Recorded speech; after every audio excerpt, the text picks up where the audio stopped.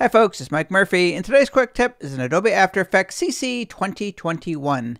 In this tutorial, I'm going to show you how to add one of my favorite effects, the Roughen Edges effect, to give your text to your graphics a little bit of a distressed, grungy look. So in this composition, I just have a background layer and a basic text layer. To add the Roughen Edges effect, just select the layer that you want to add the effect to. Go up to the Effects and Presets panel. If you don't see that, go to Window, Effects and Presets. Just click in the search box and just start typing in roughen. So R-O-U-G-H. You can just click away if it gets in your way, and there you'll see the roughen edges. It's under Stylize. You can also get to the effect by going to Effect, Stylize, Roughen Edges. Just click on it, and that'll add it to that text layer. And to add an effect from the Effects and Presets panel, if the layer is selected in the Layers panel, all you have to do is either double click on it or just click on the effect and drag it right on that layer.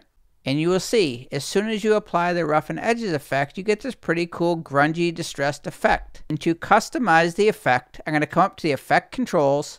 I'll click on this effect so you can see it before and after. So here's the before, you can see how sharp the text is. And here's the after with just the default settings applied.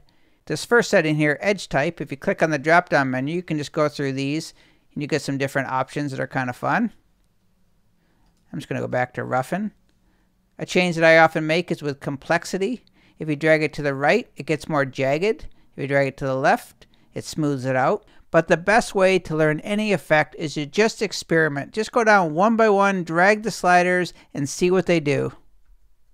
So one more time, to add the roughen edges effect, Select the layer in the Layers panel.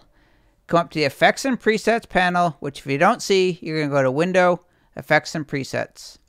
Just type in Rough, just drag and drop it right on top of the layer that you want to apply the effect to. You'll see automatically it adds that roughen effect. You can come over here, customize it however you want, and whenever you see a stopwatch in After Effects, that means that you can animate that property. And for a really easy way to put the finishing touches on your roughen effect, we're going to go to the random seed under evolution options. Hold the option key and just click on the stopwatch. Come down to the layers panel. You'll see the text is highlighted, so it's waiting for us to type in an expression. So we're going to type in time, T-I-M-E, asterisk, that's shift 8. Let's just type in 8. Just click off anywhere, hit the spacebar, and just like that, we've got ourselves a little jittery roughen edges animation. And that is your quick tip in Adobe After Effects CC 2021. My name is Mike Murphy. Cheers.